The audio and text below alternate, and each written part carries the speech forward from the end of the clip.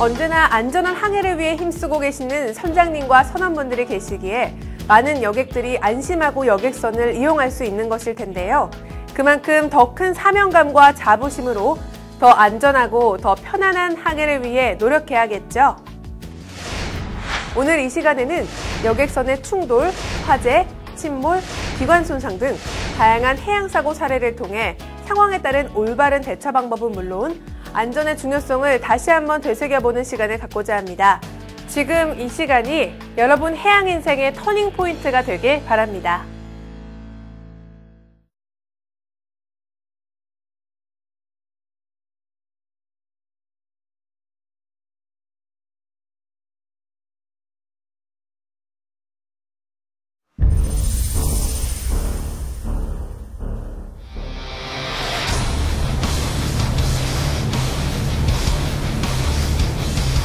야, 안개가 심해도 너무 심하네.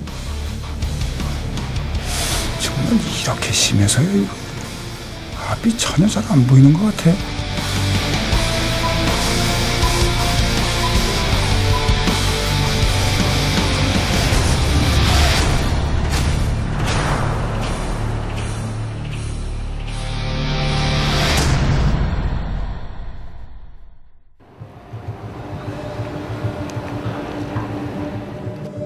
유난히 안개가 짙던 2014년 3월 총 396톤에 최대 366명의 인원이 승선 가능한 여객선 D호는 선장 이 씨를 포함한 선원 6명과 142명의 여객을 태운 채 바다를 항해하던 중이었습니다.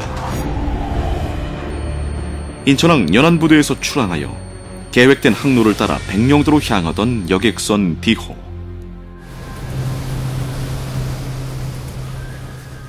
선장님, 어, 안개 때문에 생각보다 많이 늦어졌는데요. 그러니까 말이야. 늦어진 만큼 서둘러서 빨리 가보자고. 예, 그러시죠.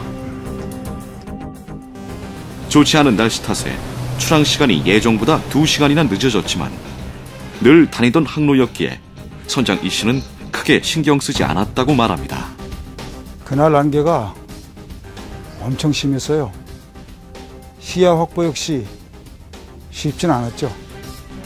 하지만 늘 다니던 길이었었고 바다 상황 역시 워낙 익숙하다 보니까 그다지 신경 쓰지 않았습니다. 당시 조타실에서 직접 선박을 조타하고 있던 선장 이 씨는 항해사 김 씨와 함께 강직 근무를 수행하던 중이었습니다. 그렇게 두 사람이 두 대의 레이더를 한 대씩 맡아 측정하며 순조롭게 운항을 이어가던 그 시각. 그 주변을 지나던 또 한 척의 선박이 있었습니다. 바로 주변에서 조업을 하는 어선 2호입니다. 당시 덕적도에서 출항하여 조업지로 향하던 어선 2호는 짙은 안개로 항해가 어렵다고 판단하여 조업을 포기하고 다시 회항하고 있었습니다.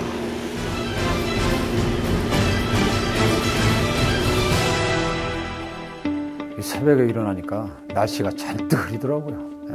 또뭐 그러다가 또 금방 깬 적도 있으니까 그래도 일단 한번 나가보자. 그래 바다로 나왔어요. 아이 근데 뭐 이거 뭐 시야를 확보할 수가 없어요. 도저히 안 되겠더라고요. 아 그래서 어떻게 배를 돌렸죠. 목적지인 백령도로 향하던 여객선 D호와 덕적도로 회항하던 어선 2호. 두 선박은 곧 벌어질 일은 상상도 하지 못한 채 각자의 길을 가르고 있었습니다. 유독 심한 안개로 인해 시정이 약 20m로 제한되었지만 여객선 D호는 여전히 최대 속력을 유지하고 있었습니다. 아 선장님 앞이 이렇게 안 보이는데 너무 빨리 달리시는 거 아니에요? 아, 이 사람이 나를 뭘로 보고 너무 걱정하지 마라. 몇 년 동안 다니던 길이라서 그날따라 방심을 했던 건 있어요. 당연히 감속하고 무중 신호를 울려야 한다고 그렇게 생각은 했었죠.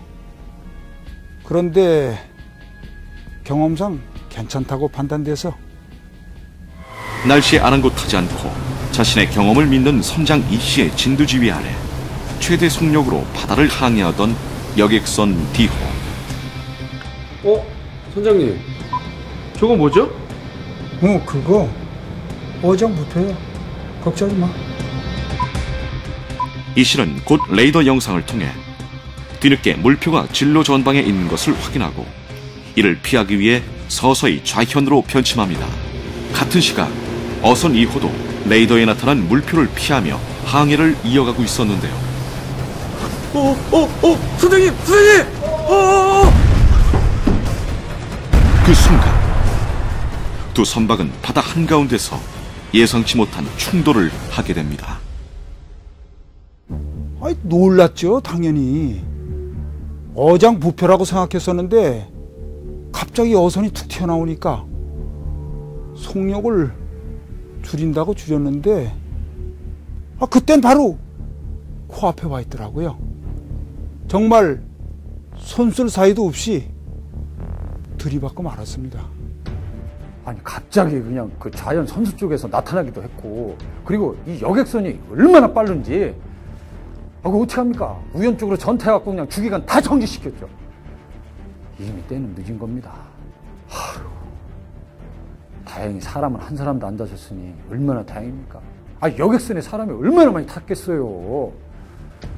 아휴 지금도 아주 아찔합니다. 아휴. 레이더 영상에 비친 서로의 존재를 단순히 어장 부표라고 여겼던 두 선박. 시계가 극히 제한된 상태에서도 기본적인 항법조차 지키지 않았던 두 선박은 결국 충돌이라는 참혹한 결과를 낳았습니다. 자칫 큰 인명 피해로 번질 뻔한 아찔한 사건이었습니다. 이 충돌 사건은 안개가 낀 무중에서 발생한 것으로 항법을 지키지 않아서 발생한 사고입니다. 가장 많이 착각하는 것이 횡단항법이 무중에도 적용된다고 생각해서 자신이 유지선이라고 피하지 않고 가만히 있는 것입니다.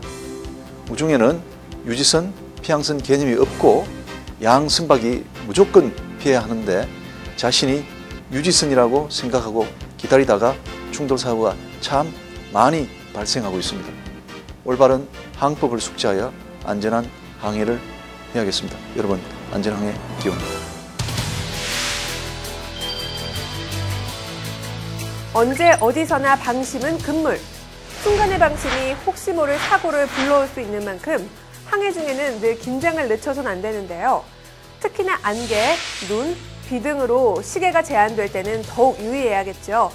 그렇다면 시계 제한 시 올바른 예방 대처 방법은 무엇인지 함께 알아보도록 하겠습니다.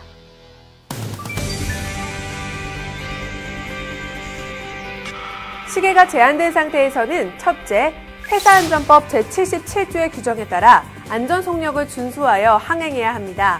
이 경우 선박은 선장이 직접 운행해야 하는데요. 혹시라도 충돌의 위험이 감지된다면 진행을 완전히 멈추고 운항을 중단해야 합니다. 둘째, 그 어느 때보다 철저한 경계를 유지해야 합니다. 전시자를 추가 배치하고 레이더를 철저히 관측하며 만약 선박에 레이더가 없다면 반드시 항행을 중지해야 합니다. 셋째, 시계가 제한된 수역이나 그 부근에서 항해 중인 모든 선박은 해사안전법 제93조의 규정에 의해서 밤낮에 관계없이 규정된 무중 신호를 울려야 합니다. 넷째, 어떠한 경우에도 상대 선박의 침로 전방으로 변침하거나 충돌의 위험이 있는 경우 좌현으로 변침해서는 안 됩니다. 만약 사고가 발생했다면 먼저 상대 선박의 선명과 선적항을 확인하고 인명구조에 최선을 다해야 합니다. 그 다음 사고 부위를 조사하고 피해 범위에 대한 방수 조치 등의 응급 조치를 이행해야 하는 것도 중요한데요.